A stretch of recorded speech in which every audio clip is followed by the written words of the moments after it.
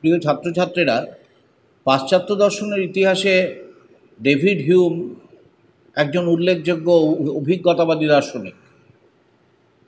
Hume তার enquiry concerning Hume and understanding গ্রন্থে বিভিন্ন বিষয় সম্পর্কে আলোচনা করেছেন। আজকে সেই এনকোয়ারি গ্রন্থের একটি গুরুত্বপূর্ণ আলোচনা কল্পনা এবং বিশ্বাস সম্পর্কে হিউমের বক্তব্য। Hume's view on imagination and belief এটি আমাদের আজকের আলোচনার বিষয়।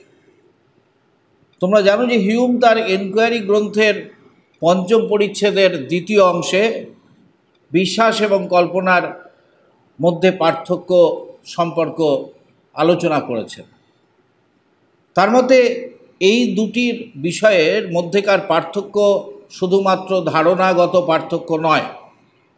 বিশ্বাস বলতে আমরা কেবল এমন ধারণাকে বুঝব না, যা আমরা যে বিষয়ে আমাদের সম্মতি রয়েছে তার সাথে যুক্ত করে দিই এবং কল্পনার ক্ষেত্রে আমাদের সম্মতি থাকলেও আমরা তাকে ধারণার সাথে যুক্ত করি না। হিউমের মতে আবেগ বা অনুভূতিকে কেন্দ্র করেই উভয়ের মধ্যে পার্থক্য। এই অনুভূতি প্রকৃতির দ্বারা এই অনুভূতির প্রকৃতির দ্বারা বলা যায় যে বিশ্বাস এক ধরনের অনুভূতি বা আবেগ। হিউমের মতে বিশ্বাসের সংজ্ঞার্থ নিরূপণ করা কঠিন হলেও এর বর্ণনা দেওয়া কিন্তু সম্ভব। তার মতে বিশ্বাস হলো কোনো বস্তু সম্পর্কে অধিকতর স্পষ্ট, সজীব, প্রবল শক্তি সম্পন্ন, দৃঢ়, স্থির ধারণা, যাকে কল্পনার পক্ষে কখনো লাভ করা সম্ভব নয়। অর্থাৎ কল্পনা একা কখনো বিশ্বাসের অধিকারী হতে পারে না। হিউমের মতে ধারণা বিশেষ, প্রকৃতি বা শৃঙ্খলার মধ্যে বিশ্বাস নিহিত নেই। যেভাবে ধারণাকে বুঝে নেওয়া হয়, তার প্রকৃতি এবং তারা মনে যে অনুভূতি জাগায়, তাতেই বিশ্বাস নিহিত রয়েছে। হিউম বলেন, নিছক কল্পনাকে যে ধারণা অনুসরণ করে, তাই হলো বিশ্বাস। আবেগ হলো একটি তীব্র স্থির ধারণা। এবং এই ধারণা যে প্রকার ধারণা বা ধরন ইন্দ্রিয়, যে প্রকারের ইন্দ্রিয় বা স্মৃতির কাছে উপস্থিত, তা কোনো কিছুর সাথে বস্তুর রীতি বা প্রথাগত সংযোগ থেকে উদ্ভূত হয়েছে। এনকোয়ারি গ্রন্থে হিউম প্রশ্ন করেছেন যে বিশ্বাসের সংজ্ঞার্থ কি নিরূপণ করা সম্ভব? হিউমের মতে শীতলতার অনুভূতি কি তা সকলের কাছে জ্ঞাত বিষয় হলেও তার সংজ্ঞা দেওয়া যায় না। এই একই কারণে হিউম বিশ্বাস নামক প্রত্যয়টির একটি বর্ণনা দিয়েছেন কিন্তু তাকে সংজ্ঞায়িত করার চেষ্টা করেননি। বিশ্বাস হলো এমন এক অনুভূতির নাম যা কখনো কল্পনার সঙ্গে যুক্ত হয় না, যেহেতু বিশ্বাস যে অনুভূতি সূচনা করে সেই সম্পর্কে প্রতিটি মানুষ প্রতি মুহূর্তে সচেতন। তাই হিউমের মতে কোনো মানুষেরই এর অর্থ বুঝতে অসুবিধা হয় না। বিশ্বাসের ব্যাখ্যা দিতে গিয়ে হিউম এনকোয়ারি গ্রন্থে বলেছেন যে বিশ্বাস হলো একটি বস্তু সম্পর্কে আমাদের অধিকতর সুস্পষ্ট, সজীব, শক্তিশালী, দৃঢ়, স্থির ধারণা ছাড়া আর কিছুই নয়।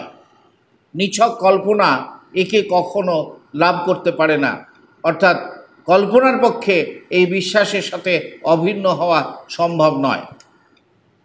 অ্যান্টনি ফ্লু অ্যান্টনি ফ্লু বলেছেন যে হিউম যেভাবে বিশ্বাসের ব্যাখ্যা দিয়েছেন, তাতে কেন কোনো ব্যক্তি কোনো বস্তুতে বিশ্বাস স্থাপন করে?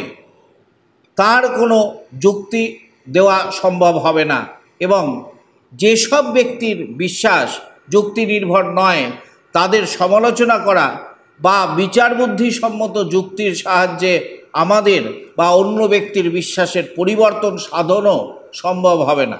আসলে এখানে দুটি প্রশ্ন দেখা দেয়। প্রথম প্রশ্নটি হলো বিশ্বাসের সত্যতা এবং দ্বিতীয় প্রশ্নটি হলো বিশ্বাসের উৎপত্তি। প্রথম ও দ্বিতীয় প্রশ্নের মধ্যে কোনো যুক্তিবিজ্ঞান সম্মত অনিবার্যতা নেই। অ্যান্টনি ফ্লু বলেন যে বিশ্বাসের সত্যতা এবং বিশ্বাসের উৎপত্তির বিষয় দুটি ভিন্ন হওয়ায়, বিশ্বাসের উৎপত্তির যেমন বিজ্ঞানসম্মত বিবরণ দেওয়া সম্ভব, তেমনি কোনো বিশ্বাসের সমর্থনে যুক্তি উপস্থাপন করাও সম্ভব। অর্থাৎ আমি যদি মনে করি আমার এই বিশ্বাসকে অভ্রান্ত যুক্তির দ্বারা সমর্থন করা যায়, তবে আমার দিক থেকে আমি সেই যুক্তি উপস্থিত করতে পারি। আবার বিশ্বাসের উৎপত্তির বিবরণ দিতে গিয়ে বিশ্বাসকে একটি মনোবিজ্ঞানসম্মত বা শারীরবৃত্তীয় ঘটনা হিসাবে গণ্য করে আমি তা প্রকাশ করতে পারি। কিন্তু হিউম যেভাবে বিশ্বাসের ব্যাখ্যা দিয়েছেন, তাতে মনে হয় যে তিনি যেন এদের মধ্যেকার বিরোধিতাকে স্বীকার করে নিয়েছেন। হিউমের মতে বিশ্বাস হলো কোনো একটি ঘটনার ক্ষেত্রে বা কোনো অবস্থায় মনকে উপ, মনকে উপস্থাপিত করার অনিবার্য ফল যাকে এড়ানো আমাদের পক্ষে সম্ভব নয়। এভাবে যদি আমরা বিশ্বাসকে বর্ণনা করি, তাহলে অন্যের বিশ্বাসকে বর্ণনা করা এটা আমাদের এবং তার সমালোচনা করা আমাদের পক্ষে সম্ভব হবে না। বাস্তবে আমাদের বিশ্বাসকে যে আমরা খুশি মতো বর্জন করতে পারি, সেটিকে স্বীকার করতে হিউম চাননি বলেই হিউম বিশ্বাসের এই বর্ণনা দিয়েছেন।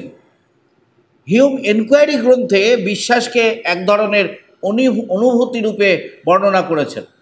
ফ্লুয়ের মতে, যদি বিশ্বাসের প্রসঙ্গ উত্থাপন না করে, এই অনুভূতির একটি যথোপযুক্ত বর্ণনা যদি না দেওয়া যায়, তাহলে তা নীতিগতভাবে বিশ্বাস এই শব্দটির অর্থ বোঝানো কিন্তু যাবে না। কিন্তু বিশ্বাস শব্দটির একটি অর্থ রয়েছে। সেই জন্য হিউম বলেছেন যে, প্রত্যেকেই বিশ্বাসরূপ অনুভূতিকে চিনে নিতে প্রত্যেকেই সক্ষম হয়। পঞ্চম পরিচ্ছেদে, দ্বিতীয় অংশে, হিউম বলেছেন যে, ইন্দ্রিয় এবং স্মৃতির কাছে উপস্থাপিত বস্তুর রীতিগত বা প্রথাগত সংযোগ থেকেই বিশ্বাসের উদ্ভব হয়। বিশ্বাসের এই মতবাদটি ঘটনা ও বাস্তব অস্তিত্ব বিষয়ে সীমাবদ্ধ। অ্যান্টনি ফ্লুয়ের মতে, এই সীমাবদ্ধতার বিষয়টি হিউমের দার্শনিক চিন্তার দ্বারা তার মনোবিজ্ঞানসম্মত অনুসন্ধান কার্যে বাধা আরোপের একটি দৃষ্টান্ত।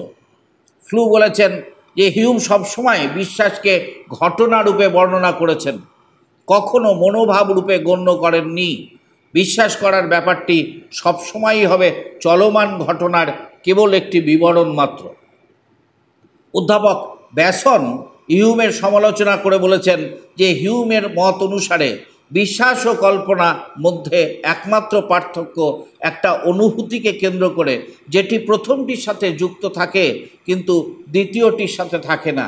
অর্থাৎ বিশ্বাসের সাথে থাকে কিন্তু কল্পনার সাথে থাকে না। হিউম এমনভাবে বিশ্বাসের বর্ণনা দিয়েছেন যে মনে হয় বিশ্বাস যেন এক ধরনের গুণ যা কোনো কোনো ধারণার মধ্যে রয়েছে, অন্য ধারণার মধ্যে নেই।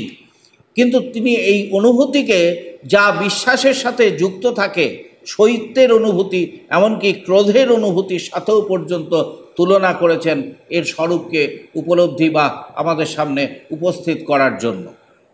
আজকের এপিসোডে আমরা আলোচনা করলাম হিউমের এনকোয়ারি কনসার্নিং হিউম্যান আন্ডারস্ট্যান্ডিং এই বইয়ে হিউম কল্পনা এবং বিশ্বাস সম্পর্কে যে বক্তব্য রেখেছেন সেই সম্পর্কে।